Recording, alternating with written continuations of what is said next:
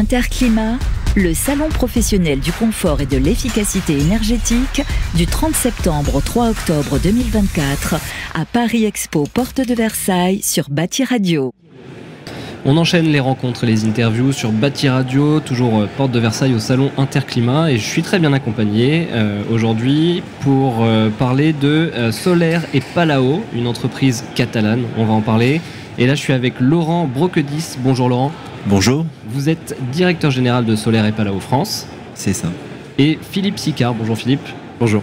Donc vous, vous êtes chef produit euh, chez Palao France aussi, Solaire et Palao France. Chez SCP France, oui. Alors SCP France, est-ce que vous pouvez me raconter la genèse un petit peu de l'entreprise, euh, d'où vous venez et quelle est votre activité? Alors euh, SCP France, c'est la filiale française du groupe Solaire et Palao, mhm. donc implantée en France depuis 1979. Le groupe Solaire et Palao, 25 usines dans le monde, 7000 salariés, 1,1 milliard de chiffre d'affaires, avec une particularité, c'est que ce chiffre d'affaires n'est fait exclusivement que sur le marché de la ventilation. Et on, fabrique l'ensemble de nos produits, du moteur électrique, de la, de la roue, du ventilateur. C'est un peu notre particularité, je dirais, dans le monde de la ventilation on retrouve plutôt des, fabricants qui font de l'assemblage, donc qui achètent des composants et qui créent un ventilateur. Alors que vous, vous faites tout On fabrique tout. Euh, chaque fois qu'on fait visiter les usines, ça impressionne. C'est-à-dire qu'on a cette maîtrise globale en fait de nos produits. Où sont basées les usines? Alors, les 25 usines sont dans le monde entier, puisqu'on a des produits qui sont relativement volumineux et qui se transportent pas très très bien. Donc, on fabrique très localement. D'accord. Euh, pour le marché français, euh, les usines sont euh, côté catalane, mais côté espagnol. De l'autre côté des Pyrénées. juste à côté du, siège qui est en proximité de Perpignan. Et on a une usine aussi en France qui fabrique des produits qui sont destinés spécifiquement au, au marché français. D'accord. Voilà. Euh, votre marché, c'est le marché résidentiel, euh, c'est le marché tertiaire, euh, c'est. Alors on, est multi-marché, c'est un peu la, force du groupe Solaire et Palao, c'est qu'on a la capacité en fait de traiter n'importe quel environnement, que ce soit un environnement résidentiel, tertiaire, mais aussi industriel. On a une part de notre chiffre d'affaires qui est relativement importante sur la partie industrielle. Donc l'industrie, c'est tout ce qui n'est pas le tertiaire, donc on va se retrouver alors des fois c'est un peu d'industrie un peu décalée, mais par exemple quand vous rentrez dans un tunnel et que vous voyez ce qu'on appelle un jet fan sur un plafond de, Donc ça peut être un, ventilateur solaire et pas là-haut. Quand vous rentrez dans un... Faire attention maintenant en rentrant dans les tunnels. c'est ça. Quand vous rentrez euh, par exemple dans un train, euh, les ventilations des, trains peut être un ventilateur euh, solaire et pas là-haut. Donc là on, intervient plutôt dans une partie qu'on appelle OEM, intégrateur. C'est-à-dire que la marque n'est pas visible, on s'intègre dans un système. Donc là, on, est moins visible, on, la marque SCP est moins visible. Alors que dans le résidentiel, là, on est en produit fini, on est en relation directe avec le distributeur et l'installateur. La, marque est, visible. Ce que j'allais vous demander, euh, en résidentiel, c'est pas tant le particulier, votre cible, c'est plutôt l'installateur. Alors, in fine, c'est le, le, particulier aussi, mais effectivement, notre, notre marché, c'est l'installateur, avec une particularité aussi sur le marché français, c'est que euh, nos produits sont, euh, on est ce qu'on appelle 100% distribution, c'est-à-dire que on s'adresse au travers du marché de la distribution, qu'elle soit euh, distribution électrique ou plombier chauffagiste. La ventilation, ça a une place importante dans le contexte actuel, peut-être encore plus avec toutes les problématiques de rénovation énergétique qu'on connaît? exactement. Pour bien comprendre, c'est très facile, c'est que plus on fait d'économie d'énergie, donc plus on isole le bâtiment, que ce soit sur l'énergie, donc thermiquement, mais aussi sur les fuites qui sont créées par rapport à l'air.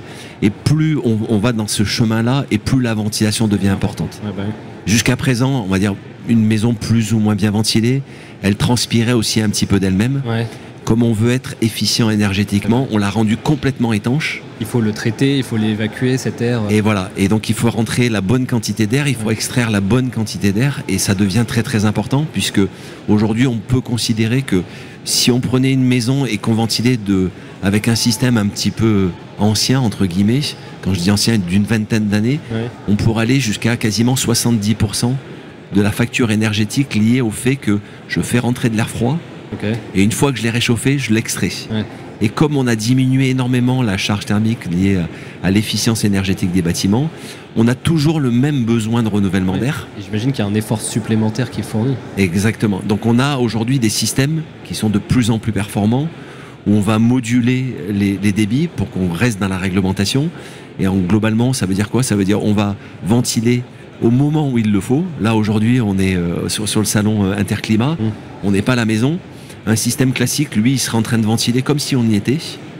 Les systèmes aujourd'hui qu'on propose, c'est que on va diminuer en fait le, débit de ventilation euh, aujourd'hui dans la journée, et au moment où on va en avoir besoin, eh bien, on va surventiler.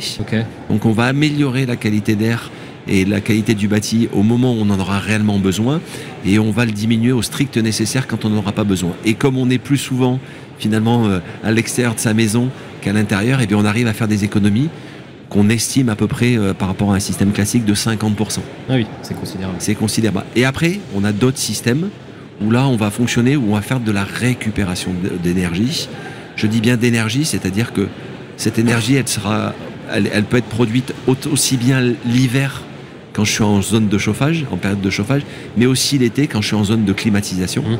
Donc on va récupérer cette énergie puisqu'on sait qu'aujourd'hui le réchauffement climatique fait que la problématique du, je dirais, des montées en température euh, estivales sont de plus en plus deviennent un problème. Et donc on est sur des systèmes de où on va rafraîchir ou climatiser euh, les, locaux. Et là on a on a une, des systèmes qui vont nous permettre en fait de d'optimiser été comme hiver en récupérant l'énergie de l'air qui est dans la maison ou dans, le local et on va le retransmettre à l'air qu'on fait rentrer dans le local. D'accord. Et on a des systèmes qui sont très très performants puisqu'on va récupérer de l'ordre de 85 à 90% de l'énergie qu'on a extrait de la maison. Ce qui fait que on ne va pas baisser cette... Ça devient le nerf de la guerre en fait. Ça devient le nerf de la guerre, ça devient le nerf de la guerre énergétiquement, c'est-à-dire que c'est le pas supplémentaire qu'il faut faire, et ça devient un nerf de la guerre qui est, qui est, qui est de tout temps, c'est qu'on peut passer 3 euh, ou voire jusqu'à 30 jours sans manger ou sans boire. Vous passez pas plus de 3 minutes sans respirer. c'est vrai. Donc la qualité d'air intérieur du logement et du bâtiment, elle devient primordiale et surtout qu'on sait qu'aujourd'hui, euh, on, est on passe de plus en plus de temps, euh, alors pas forcément à la maison, mais dans des locaux, au travail, des choses comme ça. On sait qu'on passe à peu près 80% du temps de notre vie dans un espace clos. c'est vrai. Et même à la maison, avec le développement du télétravail, il y a de plus en plus de personnes qui sont à la maison. Tout et du coup, il y a une vraie prise de conscience de l'importance de la qualité de l'air. Alors, il y a eu un effet accélérateur qui a été le Covid. Ouais. Sur la, sur la prise de conscience. Ah oui, parce qu'en plus, ça passé par l'air. Du coup, Exactement. Donc, ça, ça, a eu une prise de conscience réglementairement, et on peut dire que la France est un peu, je dirais, euh, attirer un petit peu les marchés. Depuis, on, a des réglementations, on est en avance, on a des réglementations. Ça nous arrive pas souvent, alors faut le dire. Ouais, mais il faut le dire, il faut le dire. Depuis 69, on régit la ventilation au travers de réglementations qui ont été améliorées en 82, et on est quand même, on, a, on est très dynamique sur ces marchés-là. Tous les industriels français. Euh, qui sont sur le marché français sont dynamiques sur le, sur le marché de la ventilation. D'accord. Alors là, on va faire un petit focus euh, sur le World de l'innovation. Et je me, trouve, je me tourne vers vous, euh, Philippe, euh, parce que SCP a, remporté un award. Est-ce que vous pouvez nous raconter déjà la jeunesse de ce projet aussi, de cet award? Euh, et puis, on va peut-être parler un petit peu de la solution que vous avez mis en avant pour cet award. Oui, oui, tout à fait. Donc, c'est le, le Pure Class qui donc, a remporté l'award d'innovation dans la catégorie génie climatique tertiaire. Ouais. donc là, on se focus sur le tertiaire. Exactement. Donc, un produit qui est développé dans nos usines, comme le disait Laurent, on fabrique tout, hein, que ce soit le corps de l'appareil ou ou les moteurs euh, qui, sont, qui, sont, euh, qui font partie intégrante du produit. Il y a à peu près entre deux ans et demi et trois ans de développement de ce produit-là. D'accord. Et euh, ce qu'on a voulu faire, en fait, c'est systématiquement pour nos produits, déjà se placer sur le point de vue de l'installateur pour lui rendre la vie plus facile, pour qu'il ait un produit plus facile à installer. De toute façon, parce que c'est lui qui est préconisant. C'est lui qui est préconisant. Donc, si son produit lui présente un, défaut dans l'installation, ce sera pour lui très difficile de le mettre en avant. D'accord. Ensuite, on s'est on placé au niveau utilisateur. Parce que là, ben, typiquement, quand on est sur des salles de classe, on a affaire à des enseignants. Un enseignant, il est là pour enseigner. Il n'est pas là pour euh, doit pas regarder si sa qualité d'air est, bonne. Alors évidemment, il doit s'en préoccuper parce que c'est une, une, une directive. à l'ambiance de la. Exactement. Et on sait très bien que le niveau d'attention des élèves chute quand le niveau de CO2 est trop élevé dans une classe, par exemple. Donc il s'en préoccupe mais il ne doit pas passer son temps à essayer de la gérer. Donc effectivement, nous, on a des systèmes, que ce soit sur des sondes en fait, d'indicateurs de qualité d'air, pour dire voilà, la, qualité d'air est bonne ou elle est mauvaise. Et ensuite, on propose ce système-là, le Pure Class, donc qui est directement relié en radiofréquence avec ces sondes de qualité d'air, pour lui ben, piloter en fait la qualité d'air de la classe. Donc c'est fait de manière automatique, c'est le Pure Class qui le fait automatiquement Exactement, automatiquement et de manière intelligente. Il vient classe par classe, puisque c'est un système double flux décentralisé. On vient l'installer dans chaque salle de classe pour traiter indépendamment la qualité d'air de chaque salle de classe. D'accord? Et c'est quoi? C'est avec de l'intelligence artificielle? Euh, alors non, non, c'est simplement en fait un- un- des niveaux en fait de, de CO2 qui sont transmis à l'appareil, qui ne doivent pas être dépassés pendant un certain temps, etc. Selon la programmation qu'on souhaite avoir.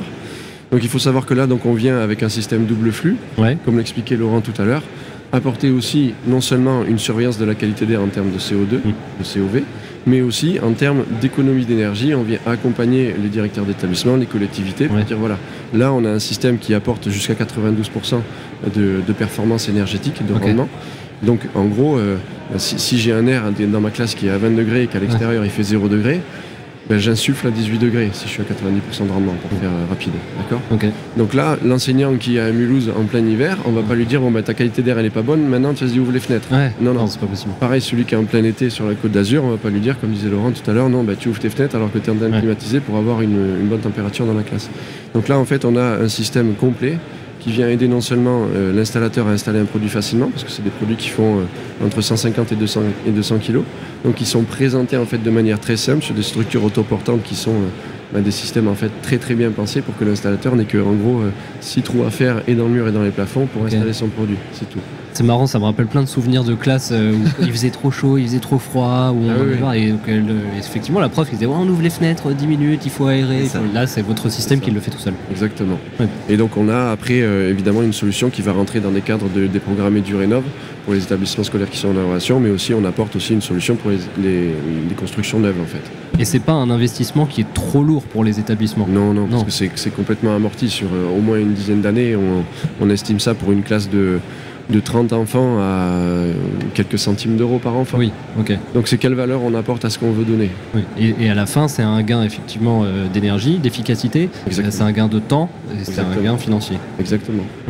Et vous, est-ce que vous voyez une évolution, vous, sur le terrain? J'imagine que vous êtes pas mal sur le terrain. Vous voyez une évolution quant à euh, l'appropriation de ces problématiques? Tout à fait, bah, parce que mm, déjà, en fait, les, euh, les décrets gouvernementaux évoluent Ouais. euh, très rapidement. Chaque année, hein, chaque année, il y a des, euh, bah, des paragraphes qui sont ajoutés. Oui. On se demande comment est-ce qu'on va euh, bah, proposer ça, le réguler, le, aider aussi les collectivités à le mettre en place, parce qu'on ne Ouais. peut pas euh, forcer euh, du jour au lendemain tout le monde à le Ah, faire, non. parce que c'est. euh, J'imagine que vous avez un énorme travail de pédagogie à faire. Oui, tout à fait. Ouais. Tout à fait. On a une prescription énorme à faire sur ces produits-là.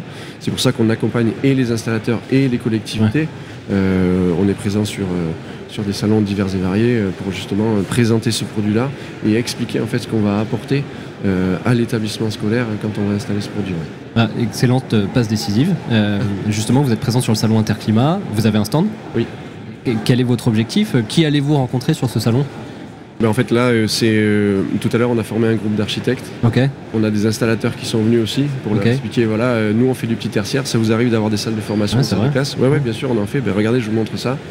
Ok, bon ben voilà. Et après, euh, on va aussi évidemment, on n'est pas que focalisé sur ce produit-là. On a tout, tout l'ensemble de nos produits. En fait, on a des pôles différents soit le résidentiel Mm. avec simple flux, double flux, les aérateurs pour les salles de bain, l'aération ponctuelle, l'industrie, mais aussi évidemment donc le petit tertiaire avec le pure classe qu'on met en avant et dont on reçoit le prix et le War d'innovation euh, ce soir. Donc euh, pas mal de prescripteurs ou possibles prescripteurs. Tout à fait. Ok. Vous étiez, c'est pas la première fois que vous êtes présent sur, euh, sur le salon Interclimat. Vous avez été. euh, Alors c'est la, la deuxième fois. C'est la deuxième fois. C'est la deuxième fois. Alors historiquement, dans les années 90, on, a- on avait été présent. Ok. Et puis euh, dans- le développement et puis dans la communication, on, on a, on a ressenti ce besoin de venir sur Interclimat euh, à chaque bon moment Ouais. dans, dans l'évolution d'une entreprise, dans son niveau de communication, dans son niveau de reconnaissance. Et, et venir sur Interclimat, c'est aussi une reconnaissance à la fois de- pour nos clients de nous voir sur, Ouais, parce qu'ils ils nous connaissent, de nous voir sur le, sur le salon. Et puis c'est ouvrir un petit peu le champ aussi de, des possibles vis-à-vis de effectivement sur cette partie-là où il faut qu'on travaille sur la partie euh, prescription. Donc voilà, euh, pour nous Interclimat est un, un- un très bon vecteur de communication Ouais. et chaque fois on y arrive. Euh, on n'est pas là pour que exposer, on est là vraiment pour proposer des solutions. Il y a deux ans, on avait gagné le concours euh, de, des, Le vote du public. le vote du public avec euh, le produit Octéo qui a, qui a eu, suite à, ce, à, ce, à cette belle reconnaissance, a eu quatre prix derrière, Ok. donc qui est très re- est reconnu par la, par En la fait, profession. À chaque fois que vous venez, c'est un- c'est bien. Voilà, c'est ça. On- on- on- on- voilà. Mais c'est, mais voilà, c'est, vraiment notre philosophie, c'est d'arriver avec, avec des, des offres différenciantes Oui. qui apportent quelque chose sur le marché. Euh, voilà, c'est pas que de la présence, c'est, c'est vraiment pour faire, euh, c'est pour tirer le marché vers le haut et proposer des solutions qui sont chaque fois euh, forces de, qui font vraiment évoluer, que ce soit énergétiquement, que ce soit dans l'installation. Voilà, on, est là pour faire avancer le métier. On, croit. Euh, euh, ça fait le, groupe existe depuis 1951. Notre métier c'est la ventilation. On dérogera jamais. On est là vraiment pour faire de la ventilation, pour assurer la qualité d'air et le bien-être des occupants et la pérennité du bâti. C'est vraiment les maîtres mots de chaque fois, chaque fois qu'on pense, qu'on réfléchit à notre métier et c'est accompagner toute la filière. Euh, voilà, on, est, on, on, participe à l'AFV, l'Association française de, ventilation, l'association filière. Je suis le président du comité stratégique ventilation euh, Uniclimat. Donc voilà, on, essaye d'apporter euh, tout notre savoir-faire et, tirer vers le haut la profession. Donc, si on prépare ce salon et qu'on vous voit parmi les exposants, on peut se dire qu'il va y avoir une sacrée actu. Oui. On espère. on espère. Je surveillerai l'année prochaine. bon, merci beaucoup, messieurs, en tout cas, pour cet euh, entretien. Si on veut vous retrouver, donc vous êtes euh, basé où? Hall 3. Ouais. Euh, F058, c'est 58, ouais. Ok. Et un site internet, j'imagine? Oui. oui. Solaire et palao .com. Ok, et pas très bien. Merci beaucoup, messieurs. Et Merci très bon salon. Merci. Bonne journée. au revoir. Interclimat, le salon professionnel du confort et de l'efficacité énergétique du 30 septembre au 3 octobre 2024 à Paris Expo, porte de Versailles sur Bâti Radio.